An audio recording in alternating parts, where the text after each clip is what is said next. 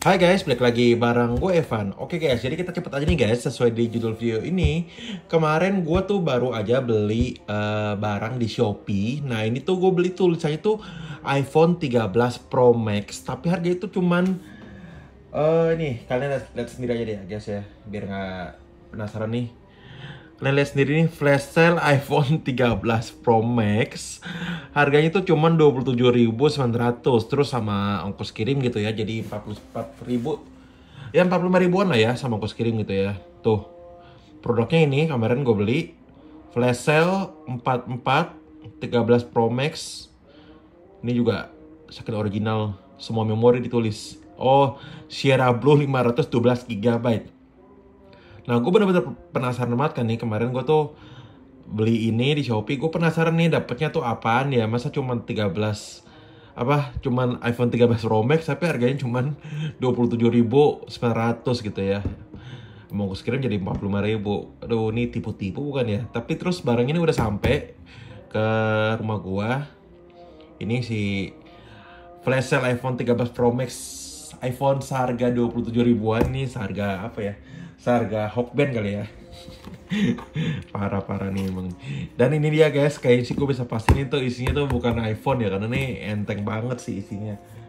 Langsung aja kita buka si uh, paketnya ini. Si iPhone 13 Pro Max seharga 27 ribuan. Aduh apa ya isinya ya? Langsung aja kita buka. Ini tuh gue belum buka ya guys. Ini tuh gue baru copotin alamatnya aja oke. Oke kita buka. Kira-kira apa ini isinya? Cuma cuma 27 ribu?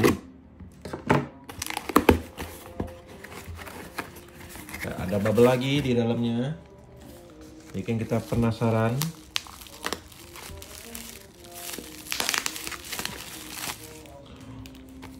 Waduh, apa ini? Waduh, handset doang dong guys. Ini handset KW Samsung loh. parah, parah, parah. Ya, namanya gue cuma 27 ribu ya. Parah apa? Coba nih. Iya, ternyata kita cuma dapat sebuah handset Samsung KW set KW nya Samsung. Tuh guys. Seharga 27 ribuan. Ya lumayan sesuai lah ya sama harganya nih kan. Kalau dijual kalau kita beli satuan harganya paling berapa nih? 20 ribuan kali ya. Cuma dapat ini doang guys. Ternyata dari pembelian iseng-iseng di Shopee iPhone 13 Pro Max seharga 27 1900 aduh buat iseng-iseng aja lah ya guys ya beli ginian nih. Kan penasaran sama isinya. Ini, ini sih mungkin lebih tepatnya tuh kayak mystery box mystery box gitu ya. Tapi ditulisnya nih biar menarik. iPhone 13 Pro Max kacau. Cuman pas gue lihat produknya nih udah nggak ada nih. Tadi pas gue lihat cek produknya tuh udah nggak ada. Udah diganti lagi trik namanya tuh Black Shark. Ah kacau deh. Jadi ini tepat lebih tepatnya sih menurut gue ini mystery box gitu ya Oke ini guys, jadi sekian dulu kali ya untuk video kali ini nih. Ini kocak banget sih. Oke guys, jadi sekian untuk video kali ini. Uh, jangan lupa klik like dan subscribe channel YouTube Pedia dan kita ketemu lagi di video selanjutnya. Thank you guys.